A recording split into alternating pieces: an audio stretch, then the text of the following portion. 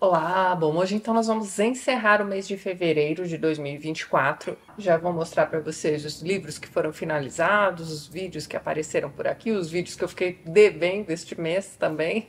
E na sequência a gente faz uma, como é que vamos dizer? Uma compensação, já que este mês nós não tivemos o vídeo de quadrinhos, mangás, filmes e séries. No final deste vídeo a gente conversa pelo menos sobre os filmes e séries assistidos por aqui ao longo do mês de fevereiro de 2024 certo? Vamos começar então, como de costume, pelos livros do mês. E, como sempre, vou começar mostrando para vocês o livro de fevereiro do nosso desafio dos 12 livros para 2024, que foi então Fedro de Platão.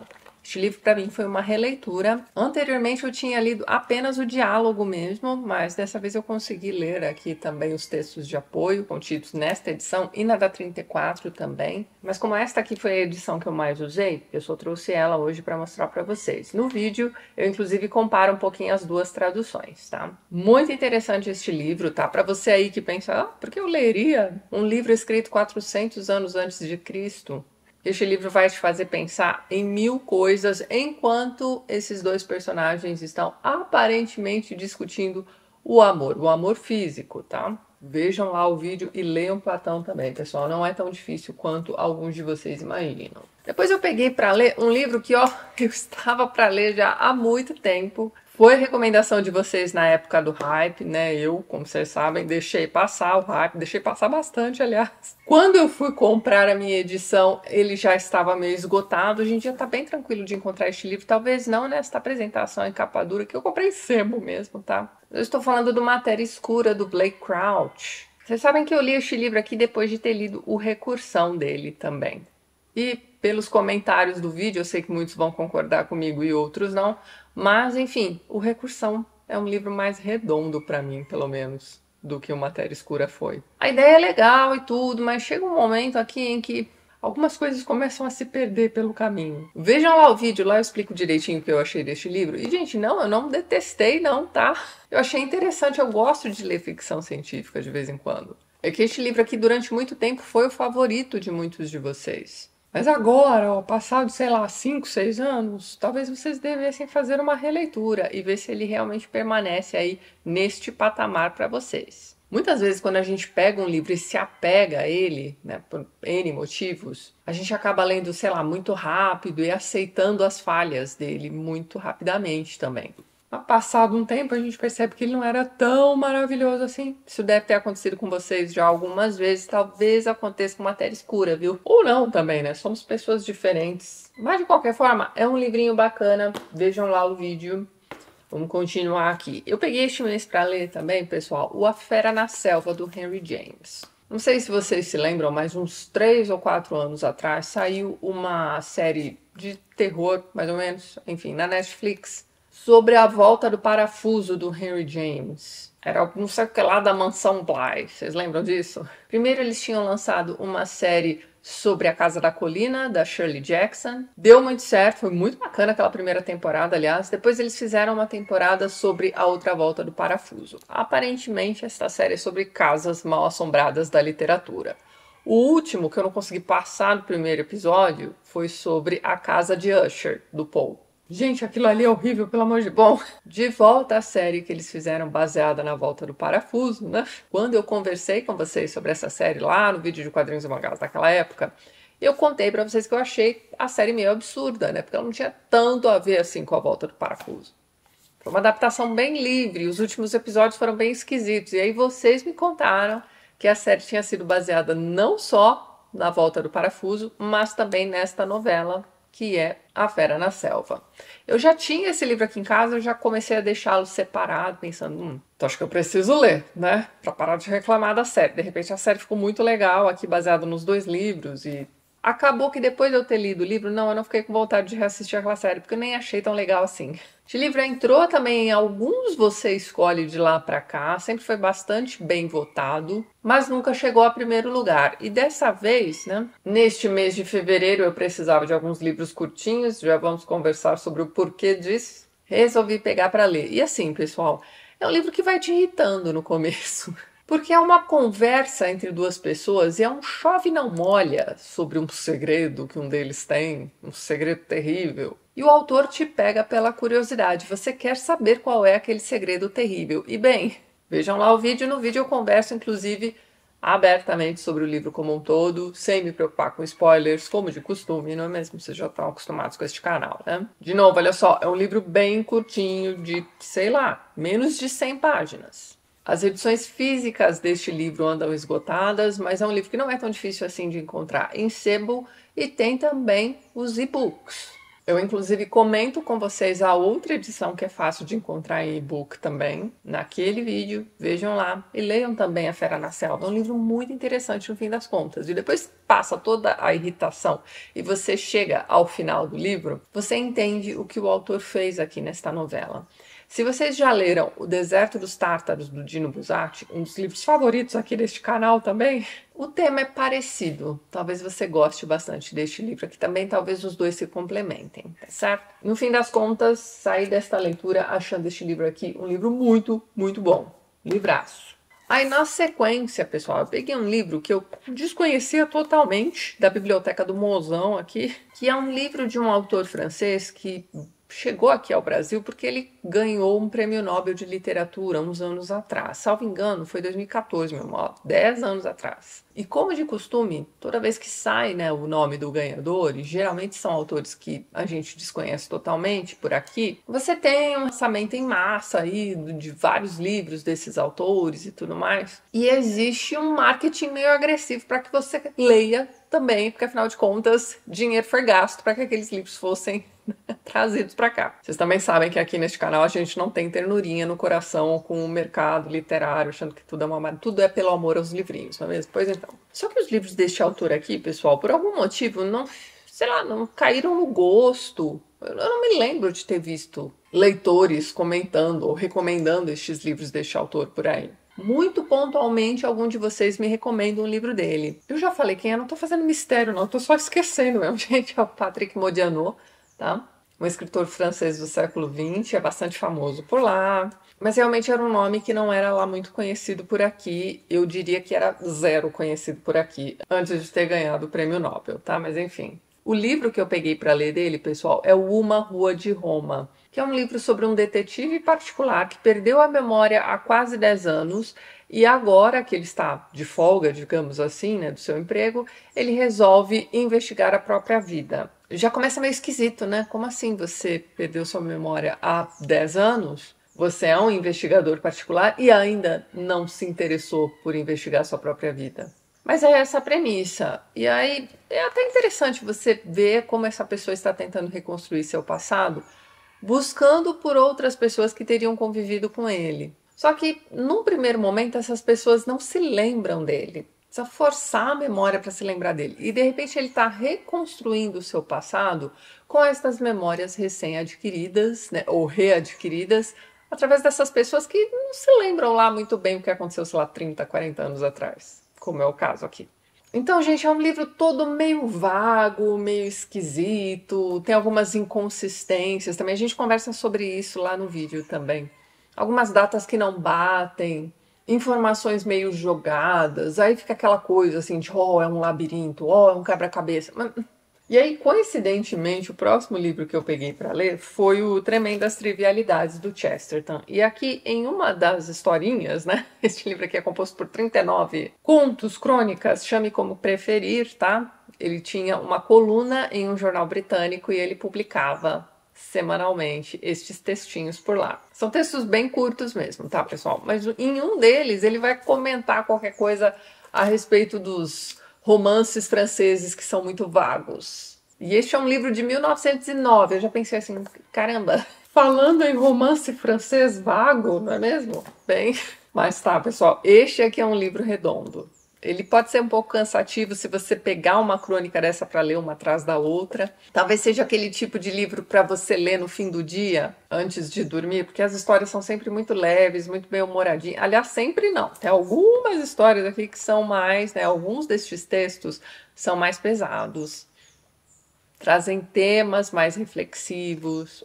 Mas em geral o que você vai encontrar aqui é como título mesmo, tá? São trivialidades, né? Coisas corriqueiras do seu dia a dia, sendo extrapol... ele mostra para você que as pequenas coisas podem te levar a grandes reflexões. Elas podem não ser tão pequenas assim, elas podem ser importantes pra caramba pra sua vida. E sério, gente, em algumas destas histórias aqui você vai rir bastante, principalmente se você gosta de humor britânico, que é aquele humor mais bobo mesmo, vamos combinar. Então, se você gosta desse tipo de humor, gente, a chance deste livro aqui funcionar para você vai ser muito grande.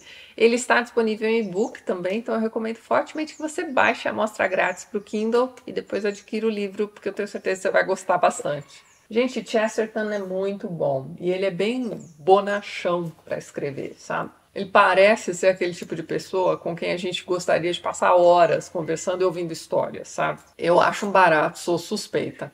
E depois eu peguei para ler também, pessoal, na verdade para reler o primeiro volume de Harry Potter. Este aqui é o Harry Potter e a Pedra Filosofal. E este aqui é o único livro da série que eu já li três vezes, né? Li aquela primeira vez em que eu comentei com vocês aqui no canal sobre a série como um todo, e aquilo lá, pessoal, acho que foi em 2011, 2012. Aquele vídeo é muito antigo. Lá naquele vídeo eu já conto para vocês que no início, né, na época do lançamento dos livros, eu torcia bastante o nariz para essa série. Fui convencida a ler, enfim, tá tudo lá naquele vídeo de 12 anos atrás. Lá eu conto para vocês a minha experiência né, com a série como um todo, que já tinha sido maravilhosa.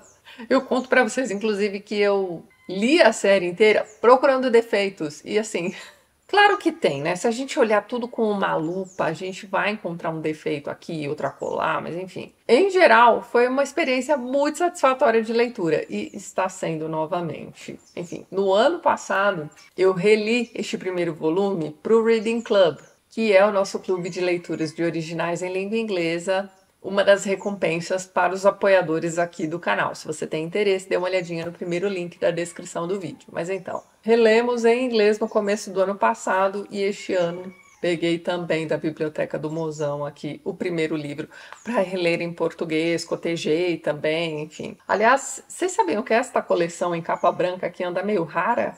Quando eu fui montar os links daquele vídeo, eu quis colocar o link para este livro aqui na Amazon e já não tem há muito tempo. Mas Harry Potter nunca deixa de ser publicado. Então, vocês vão encontrar inúmeras outras edições aí, sempre disponíveis. Então tá, pessoal, naquele vídeo a gente conversa bastante sobre o livro como um todo também. Eu dou spoilers, falo um pouquinho das diferenças entre o livro e o filme também. Eu acho que tem uma parte no final deste livro que é bem importante e que não está no filme, né?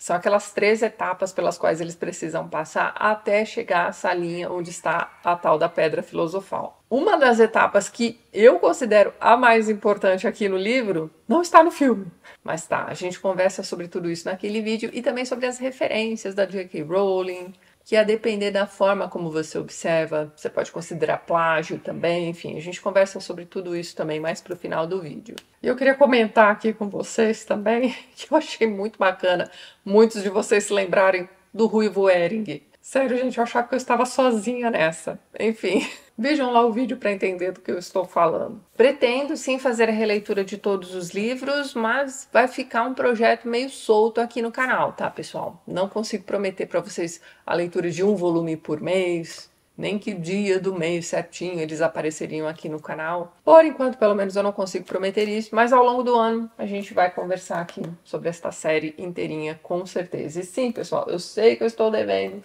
os demais vídeos sobre as crônicas de Nárnia, eles vão aparecer por aqui também em algum momento. E sobre fronteiras do universo, gente, eu tô no último volume e eu não quero que acabe. Este é o problema. O meu problema é amar demais Fronteiras do Universo. Mas tá, um dia a gente resolve isso também. Bem, além destes livros lidos e resenhados aqui no canal, nós tivemos também a última peça de Shakespeare que estava faltando para a gente conversar aqui neste canal, que foi então a peça Eduardo III, que é aquela peça que muitos estudiosos acreditam ser do Shakespeare, outros não. Por via das dúvidas, né, como a nossa proposta no projeto de leitura era ler todas as peças do Bardo, nós lemos também Eduardo III. Como eu não encontrei nenhuma tradução desta peça, nem em edição física, nem em e-book, eu acabei baixando aqui a edição em inglês daquela coleção Arden Shakespeare, que é uma das coleções mais sérias, digamos assim, da obra completa de Shakespeare que você vai encontrar por aí. Bem, eles trazem né, no seu acervo Eduardo III. Para você ver como é difícil encontrar esta peça aqui em outras edições, e na Arden você encontra. E para quem não sabe, pessoal, o Eduardo III, que foi um rei da Inglaterra do século XIV, é considerado um dos grandes reis, se não o grande rei da Inglaterra. Ele era aquele tipo de rei guerreiro, né, que saía aí nas batalhas, ia para a linha de frente, comandava seus exércitos, enfim, as conquistas dele foram inúmeras. E foi um dos reis que mais trabalhou pela Inglaterra, tá? Vamos deixar assim. E aqui o Shakespeare faz um retrato meio estranho deste Eduardo III. A gente conversa sobre tudo isso naquele vídeo Encerramos as peças, mas ainda faltam os sonetos, hein? Nós não encerramos o projeto de leitura além de Shakespeare, ainda não. E além dos livros que apareceram no canal, fevereiro foi o mês da releitura de Os Miseráveis no nosso clube de literatura Tatiana Feltrin e sua biblioteca. Eis aqui o motivo do canal ter ficado meio bagunçadinho no mês de fevereiro. A releitura dos Miseráveis realmente me tomou bastante tempo, pessoal. Mas foi maravilhoso mais uma vez. Então, aproveito mais uma vez para agradecer aí a todos os participantes do clube. Eu sei que muitos de vocês ainda não terminaram né, a leitura dos Miseráveis mas todo o material sobre o livro já está disponível para vocês lá na Hotmart. E para vocês que ficaram de fora do nosso clube de leitura, o ano já está voando, não é mesmo? Já estamos em março, né? Logo, logo já é novembro, a gente já abre aí as inscrições para o ano que vem. E dessa vez não percam, hein? Pois então, releitura dos Miseráveis feita com sucesso. Gente, que livro maravilhoso. Continua maravilhoso. Para mim, né? Porque vários dos nossos colegas do clube detestaram este livro com força. Acontece, né, gente? Livro nenhum é unanimidade. Gente, Harry Potter não é unanimidade. Digo isso porque é um livro muito famoso hoje em dia, muito fácil de agradar aí as pessoas. Bom, enfim.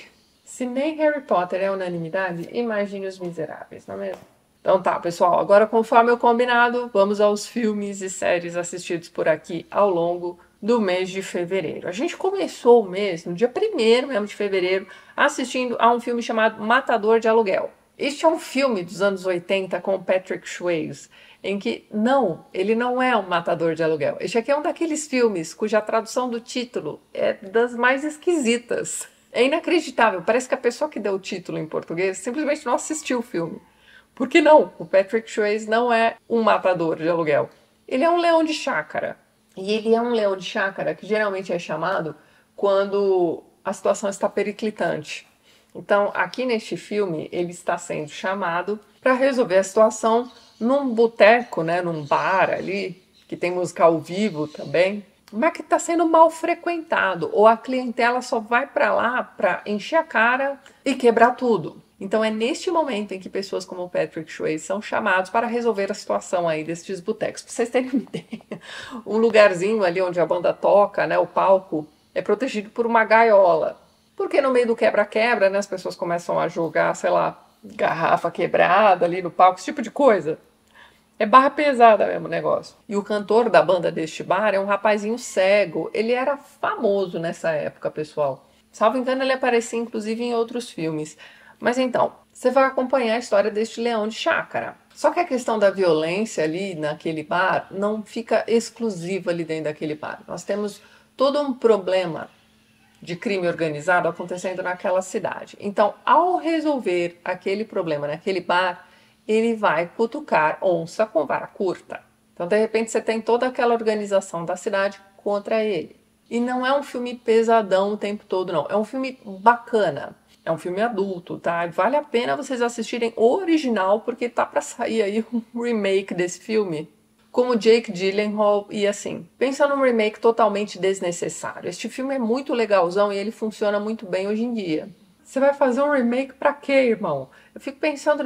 Recentemente saiu aí o um trailer, pessoal, não sei se vocês viram, de um remake para O Corvo, aquele filme dos anos 90 que não tem nada a ver com o Paul, tá? Enfim. Mas tem tudo a ver com uma HQ muito boa também. Sério, pra que fazer um remake daquele filme? Ele também, né? Ele tem uma estética bem anos 90, bem videoclipe da MTV mesmo, sabe? Mas ele funciona ainda. Então, Bom, a gente já conversou sobre isso, né? Aquele meu vídeo sobre beleza do Roger Scruton, né? Acabou a criatividade do mundo, não é mesmo? Precisa ficar fazendo remake de filme legalzão aí e estragando o filme legalzão. Esse é o problema. Então, recomendo fortemente Matador de Aluguel. O nome em inglês é Roadhouse. Assista e entenda você também por que este título está tão errado. Depois a gente assistiu um Fast and Furious, né? O último, Velozes e Furiosos o último que saiu, que aparentemente não é o último, porque ele termina de um jeito a te fazer entender que vai ter uma parte 2. Entendam, não, eu não gosto do Vin Diesel, destes filmes, mas eu assisti ao primeiro filme no cinema, eu devia ter o quê? 12 anos. E depois disso eu não vi mais nada. Estamos no décimo. Aparentemente é o último, né? Da franquia. Então todo aquele meio né, da história me perdeu. Eu não acompanhei os filmes todos daquele rapaz que morreu também, né? O Vin Diesel tinha um parceiro e aquele ator falece também lá pelo quarto ou quinto filme, algo assim. E ele, curiosamente, morreu num acidente de carro, não foi? Um rapaz chamado Paul Walker, vocês lembram de bem?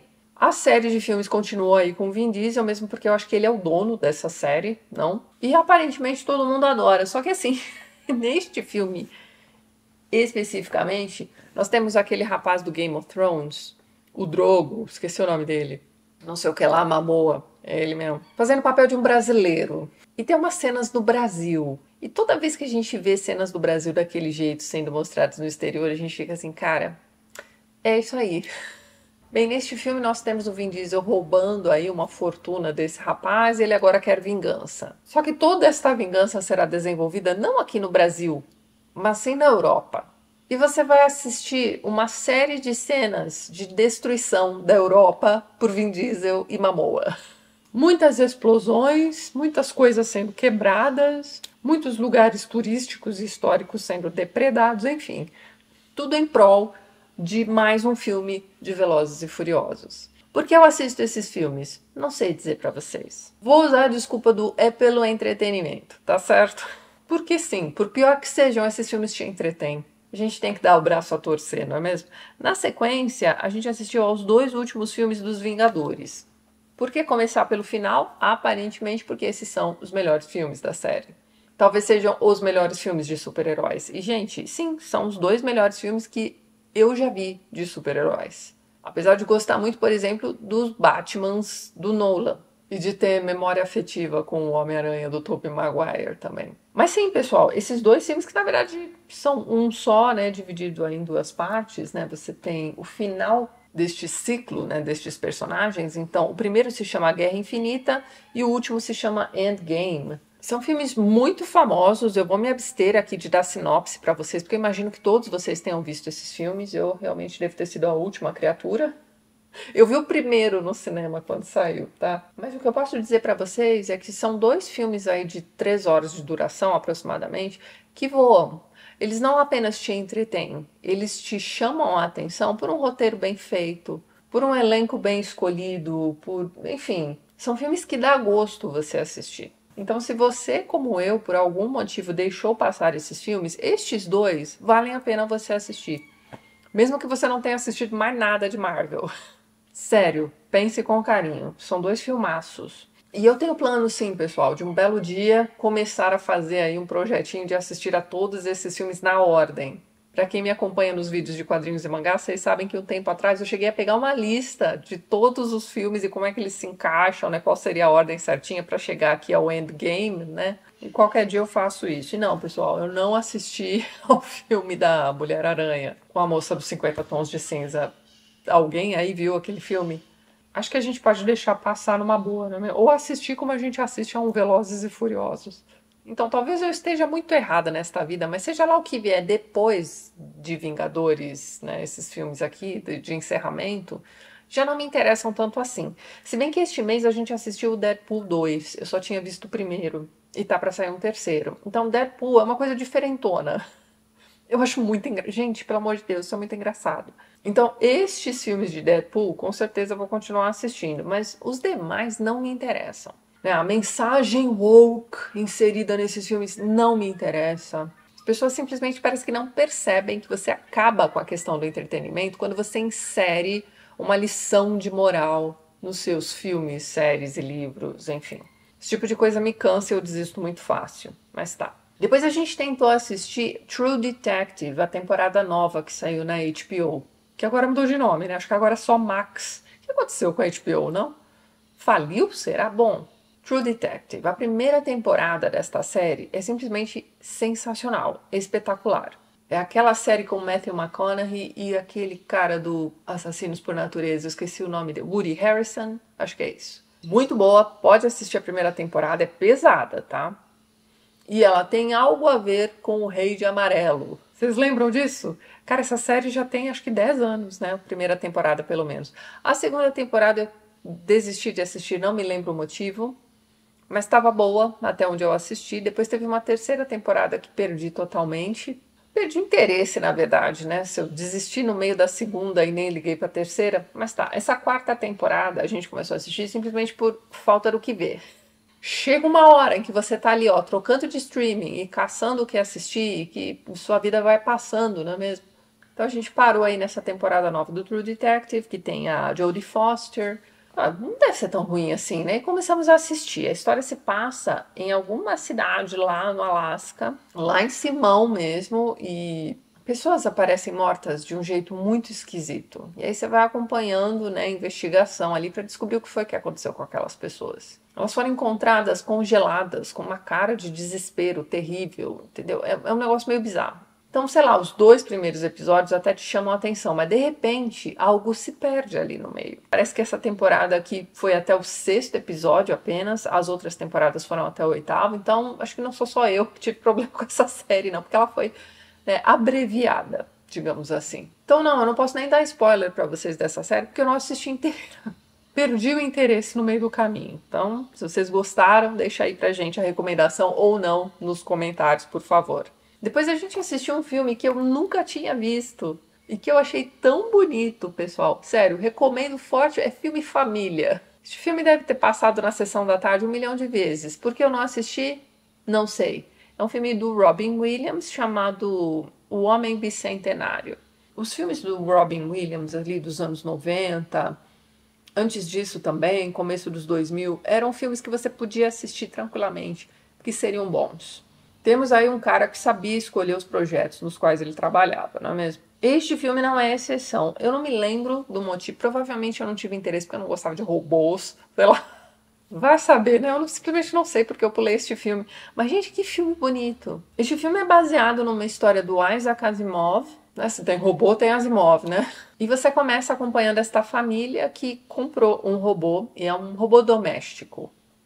Ele ajudaria ali nas tarefas de casa e tudo mais, e é o Robin Williams, certo? Só que num primeiro momento você tem as filhas desse casal, né, lidando com esta nova tecnologia. Então, uma das meninas detesta essa coisa, né, essa ideia de ter um robô dentro de casa, né, interagindo com a família e como se fosse um ser humano, isso a incomoda. E, enquanto isso, você tem uma outra garotinha que vai super se adaptar com essa ideia, vai gostar de ter um amigo robô, entre aspas, e vai realmente desenvolver amizade com esta máquina. Enfim. Só que conforme o tempo vai passando, essa máquina vai sendo estimulada e ela vai passar a pensar por si mesma. Mas não é aquele tipo de filme em que você tem máquinas querendo dominar o homem. Não, aqui você tem uma questão de amizade mesmo, uma questão de respeito também, né? De aceitação, talvez, né? Isso aí tá tudo no subtexto do filme. Porque num dado momento ele começa a achar que a questão da liberdade é importante. E que apesar dele ser apegado àquela família, que está crescendo, está envelhecendo e ele não, porque ele é uma máquina, ele vai começar a desejar a tal da liberdade, né, sobre a qual ele havia lido. Então, assim, ele ser livre não o impediria de continuar, né, com seus laços ali com aquela família. Só que o pai daquela família, né, quem teve a ideia de comprar aquele robô e tudo mais, né, vai ficar ressentido, vai expulsar, vai mais ou menos expulsar o robô de casa, né, vai dar ali sua liberdade, né, sua alforria e ele vai viver sua vidinha, digamos assim. Então ele vai morar na casa própria, esse tipo de coisa, né? Você vai acompanhando este robô que quer se aproximar cada vez mais de um humano, então, num dado momento, ele vai conhecer ali um super cientista que vai ajudá-lo a se transformar cada vez mais em um humano. E você vai vendo que não existe um objetivo específico para que ele faça isso, até ele entender que ele tinha uma ligação muito forte com aquela criancinha que fez amizade com ele. E num dado momento ela morre, ela já está muito velhinha. Mas ela tem uma filha que muito se parece com ela e que também tem essa aversão aí a robôs. Nesse ponto da história, ele já é quase um humano, mas ainda falta muita coisa. E a partir do momento em que ele entende que está apaixonado pela filha daquela criança que foi sua amiga a vida inteira, ele passa a ter um objetivo para se tornar cada vez mais próximo de um ser humano. E é uma história toda bonita, o filme todo é muito bonito, o roteiro é uma graça. O filme vai se desenvolvendo para um final muito triste, mas ao mesmo tempo muito bonito também. Então, é aquele tipo de filme do qual você sai, né? Aquele filme que você termina de assistir que te dá um quentinho no coração, sabe? Então, sério, se você nunca assistiu O Homem Bicentenário, assista. Você vai se arrepender, como eu também, de ter deixado esse filme passar a vida inteira sem ter se interessado. É muito bonito mesmo, gente. Fica a recomendação aí para vocês. Depois a gente começou a assistir a série Born, que eu só tinha visto no cinema na época do lançamento ali dos três primeiros filmes. Eu simplesmente não tenho memória de ter assistido o quarto filme. E o quarto filme foi feito muitos anos depois do terceiro, enfim. Acho que eu já tinha perdido interesse também. Bem, os dois primeiros filmes de Bourne que nós reassistimos foram então A Identidade Bourne e A Supremacia Bourne. Então, no primeiro, você tem esse rapaz que perdeu a memória tentando entender como é que ele foi parar naquele barco que o resgatou e assim. Ele tá baleado, tá combalido, precisa né, de ajuda, tudo mais, enfim. Ele simplesmente não tem memória de como foi que ele parou ali. Mas aí, conforme o filme vai se desenrolando, você vai vendo que ele é um agente da CIA, fez alguma besteira em algum momento, matou quem não deveria ter matado em algum momento e está sendo procurado pela própria CIA. Mas ele não tem memória. E aí, curiosamente, ele não tem memória. Isso tudo está acontecendo na Europa também.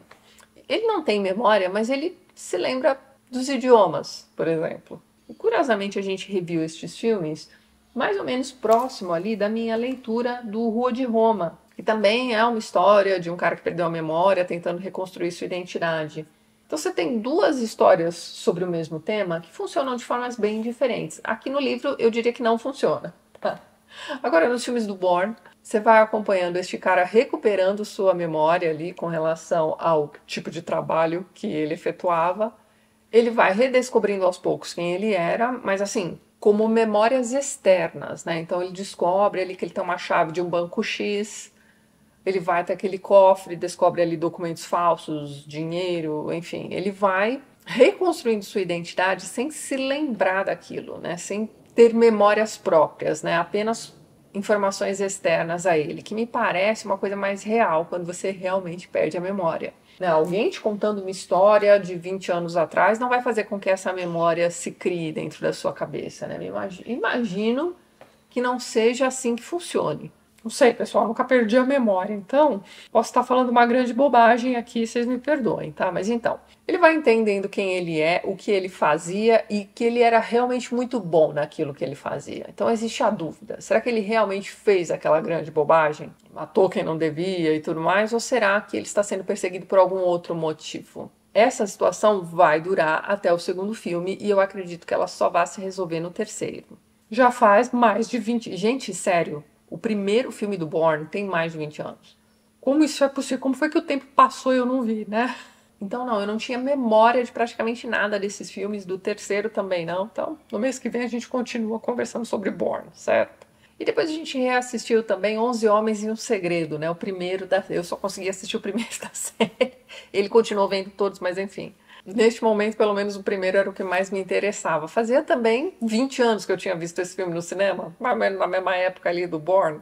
Então eu me lembrava vagamente do filme, mas não de detalhes, nada, né? Enfim, aqui você tem aquele grande elenco, né? Todo mundo famosão aí no filme. Você tem o George Clooney, que é um ex-presidiário. Agora ele está solto, enfim, ele vai juntar aí um grupo de pessoas interessadas em aplicar esse tipo de golpe. E também eles vão roubar o dono de uma grande rede de hotéis, aí, algo do tipo lá em Las Vegas. O motivo para que eles queiram roubar especificamente esse cara é meio que pessoal do George Clooney mesmo, né? Porque afinal de contas, este cara hoje em dia está com sua esposa. Mas é aquele tipo de filme todo legalzão também, todo cheio de piadinhas, ali em que você tem esses personagens, né, aplicando este golpe. Era um tipo de filme que era muito comum ali nas décadas de 60, 70, inclusive, salvo engano, é um remake de um filme dessa época aí. Então, além dos filmes de espionagem, né, você tinha esses filmes também de golpes, né, que eram muito famosos. Tô dizendo isso porque no mês passado a gente assistiu um desses filmes aí de espionagem, também baseados nesses filmes de antigamente. Bem, já nem me lembro o nome daquele filme. É um filme do Guy Ritchie, mas tá. Esse tipo de filme, curiosamente, não me chama atenção. Todas as vezes em que eu tentava assistir um filme velhão desses, destes canais que passam filmes clássicos, eu me perdia. Eu nunca achei interessante esses filmes de golpistas. Tem um filme mais recente com aquele Mark Wahlberg, com a Charlize Theron também, sobre jogos de cartas, né? Eles também são golpistas. E todo mundo adora esse filme e eu sempre achei chatão.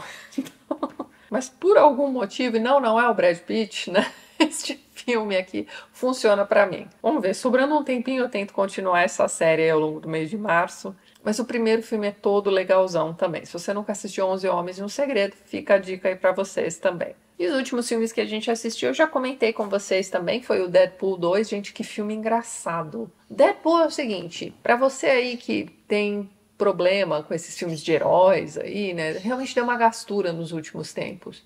Talvez você deva dar uma olhadinha aqui nos filmes do Deadpool, principalmente se você gostar de comédia, porque esses filmes são diferentes. E eles são muito divertidos, ó, fica a dica aí para vocês. E aí, a gente reassistiu o Harry Potter e a Pedra Filosofal, por conta aí deste meu projetinho pessoal de reler aqui a saga do Harry Potter. O filme, pessoal, que eu posso dizer para vocês, é um filme sessão da tarde, é um filme infantil. Talvez ele não funcione tão bem quanto os livros para todas as idades, né?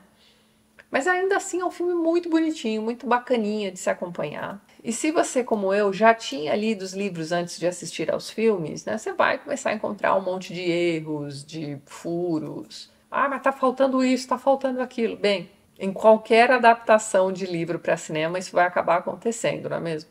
É que realmente, como eu disse para vocês ali, aquele final, né, as tarefas que eles precisam cumprir para chegar à sala final em que eles precisariam estar, me parece ser uma parte bastante importante do livro que ficou meio esquisita no filme.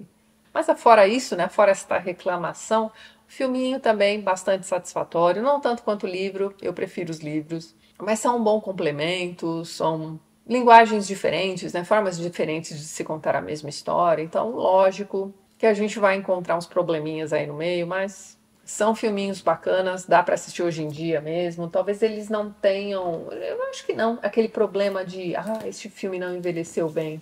Como ele tem o um mundinho dele criado, né, aquela coisa de Hogwarts e tudo mais, né? Se você compra a ideia da escola de bruxos, né, você realmente vai entrar no filme também sem grandes reclamações, não é mesmo?